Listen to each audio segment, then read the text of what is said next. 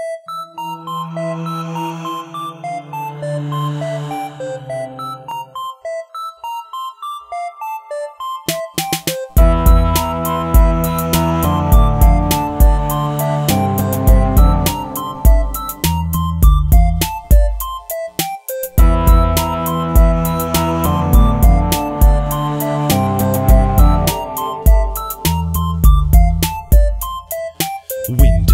of the moving air. It's everywhere, and the source is somewhere over there. When it comes along, it'll cool you off breezily. You can be strong, but it also breaks easily.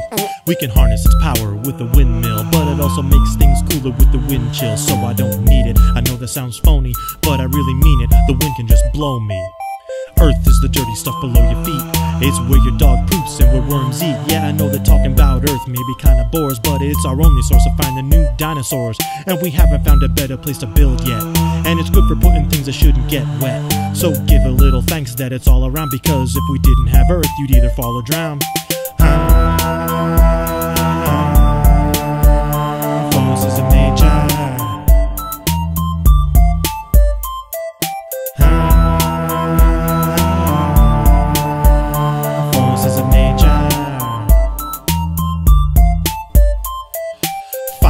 really good for burning things, like books or papers or other learning things, cause it's all better than erased when the fire starts. Or if it's more to your taste, you could light a fart. The Yule log was there at Christmas and it was rad, and you can burn up all your presents if they suck too bad. Light 'em up, watch 'em burn. What I mean is fire, fire, fire, fire! Settle down, Beavis. The final force is something that we all need.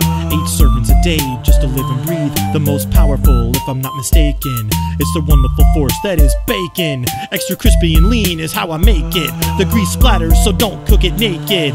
It attracts the females and it smells great. I got a big pile, now all I have to do is wait. Um,